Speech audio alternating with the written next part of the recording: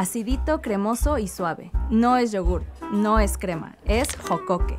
Y nunca falta en los restaurantes libaneses en México. Ya sabes, ese que te sirven con pita, la tortilla del mundo árabe, y que no puedes dejar de comer. Pero aquí hay un problema. Si tú le preguntas a una persona de cualquier país árabe si conoce el jocoque, probablemente te verá con esta cara. Es. Esto es porque la palabra jocoque no es árabe, sino que proviene del náhuatl jokok, que significa agrio. ¿Un alimento libanés con nombre náhuatl? ¿Cómo pasó esto? El jocoque o jocoqui existe en México desde la época colonial.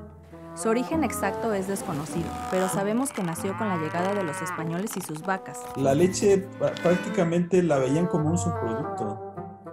No les interesaba tanto. Y se la regalaban a los peones muchas veces. Y esa leche que le regalaban a los peones, pues es la que llevaban a la casa. Y ahí es donde se empezaron a dar cuenta de esas fermentaciones benéficas que tiene la leche. Los peones de esas haciendas eran en su mayoría personas de pueblos originarios cuya lengua era el náhuatl. Esa es la hipótesis de por qué este producto lácteo no tiene un nombre europeo ni árabe. Como pueden notar, la franja del jocoque se extiende de sur a norte. Lo puedes conseguir en algunas cremerías o mercados pueblerinos o de ciudades pequeñas, pero hay que buscarle bien, porque es un alimento primordialmente de uso casero que se hace con leche bronca previamente hervida o leche pasteurizada. Mi abuelita lo hacía, mi abuelita le enseñó a sus hijas, sus hijas lo hacen y, su- y sus hijas nos enseñaron a nosotros. Hay jocoques líquidos que se beben y jocoques espesos que se untan o taquean. Es un alimento del desayuno que se acompaña con frijoles o salsa. Las bondades de la leche fermentada son uno de los descubrimientos más antiguos de la gastronomía. Hay culturas, como la árabe, en las que este alimento ha formado parte de la dieta básica desde hace milenios. Lo que en México se llama jocoque, en esa parte del mundo se llama labne en su versión más espesa y laban en su versión más líquida.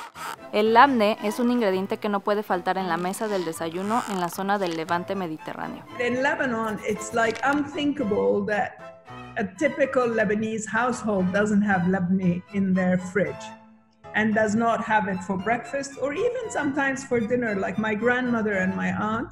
El origen es muy difícil de rastrear, pero se cree que fue obra de los beduinos, pueblos árabes nómadas que necesitaban preservar sus alimentos. El labne y el laban llegaron a tierras mexicanas por la inmigración de libaneses en la segunda mitad del siglo XIX. Una serie de cambios en las estructuras políticas y sociales en Líbano propició este fenómeno. México recibió al menos 20.000 migrantes entre 1860 y 1914. La nueva comunidad libanesa se estableció principalmente en los estados de Veracruz, Puebla, Ciudad de México, Yucatán, Coahuila, Tamaulipas, Nuevo León, Jalisco, Chihuahua y Durango. En muchos de estos estados se produce el jocoque mexicano. Al notar su parecido con el labne y el laban, los mexicolibaneses comenzaron a producir este alimento tradicional de su cultura, pero con el nombre de jocoque libanés o árabe. Cuando emigras, vas a ir tropicalizando todo y pues es una forma de agradecer al país que te acoge, ¿no? Poder adoptar tanta riqueza que tiene. Mi abuela siempre decía que Dios te haga grande México. Es, es tan amplia también aparte la- nuestra cocina mexicana que es también enriquecedor poder crear cosas nuevas mezclando una con otra. Ambos jocoques, el mexicano y el árabe, siguen produciéndose en su mayoría de forma artesanal. También hay otros a la venta en supermercados o tiendas especializadas. Y por sus variantes con chile verde o chipotle, está clarísimo que el jocoque libanés ya sentó sus raíces en México. ¿Libanés o mexicano? ¿Cuántas variantes de jocoque has probado y cuál es tu favorito?